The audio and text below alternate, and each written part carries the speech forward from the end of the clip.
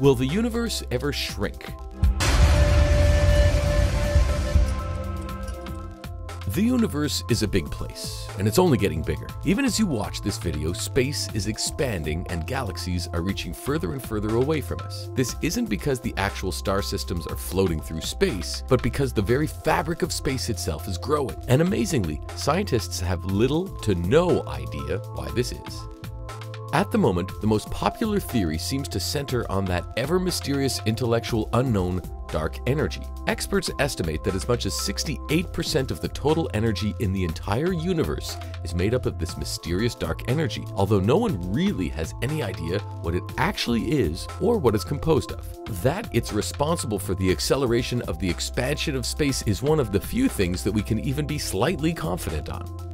But while we know that the universe is expanding and has been for the last 14 billion years or so, will it ever shrink? Surely it can't just keep getting bigger until the end of time, can it?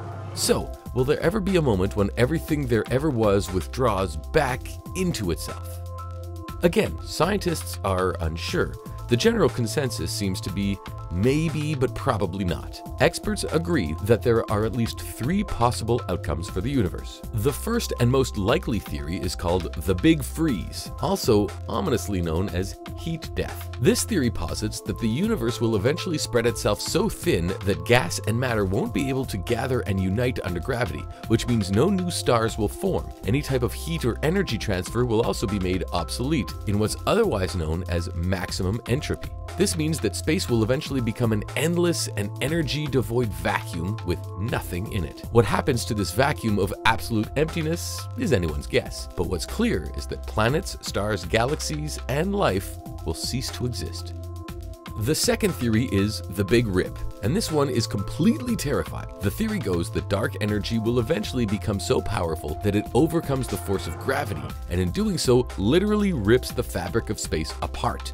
The force of dark energy will become so strong and the force of gravity so inconsequential and minute that the dark energy will ruthlessly destroy all suns, moons, black holes, and even individual atoms. Nothing will exist because everything will have been annihilated. The universe itself would exist, but only as a massive area of pure dark energy without any other matter whatsoever. Again, it's impossible to speculate on what a 100% dark energy universe would look like, particularly because we don't know what dark energy energy is, but it sounds pretty terrifying, doesn't it?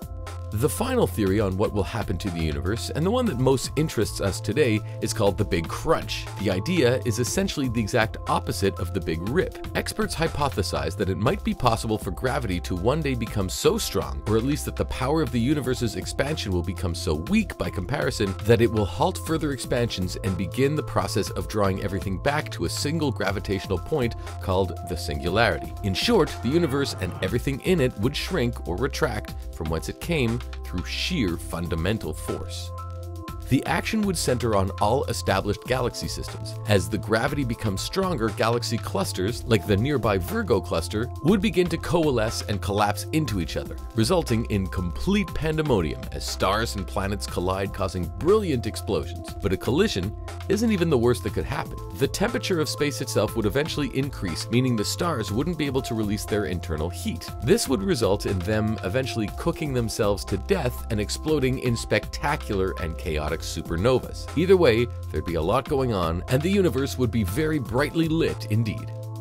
Over time, and these developments could take centuries, millennia, or even millions of years of shrinkage to unfold, all matter in the galaxy, including the remain of stars and planets like our own, will eventually merge into massive black holes. These black holes would in turn attract towards each other to ultimately create one all-encompassing black hole called the singularity. Every iota of matter that ever existed would eventually condense into this spot and the universe as we know it would cease to exist. Some experts even believe that this would cause a reverse Big Bang.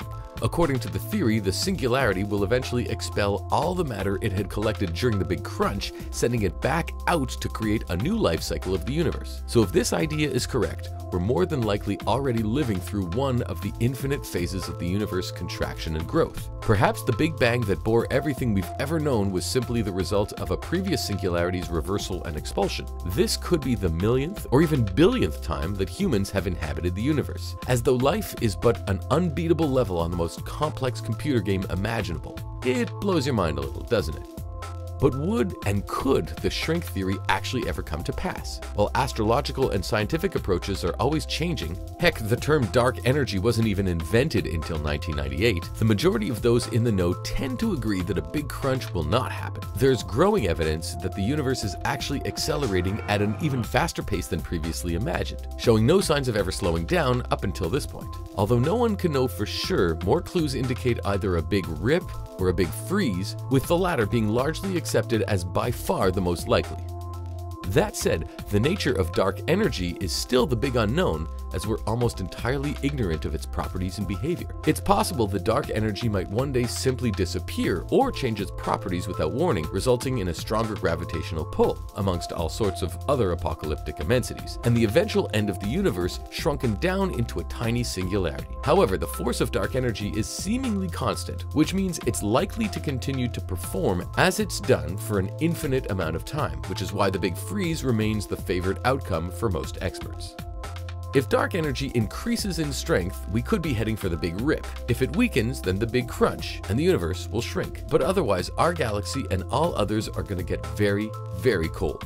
There's no need to bust out the blankets just yet, though. If any of this ever does happen, it won't be until very, very far into the future.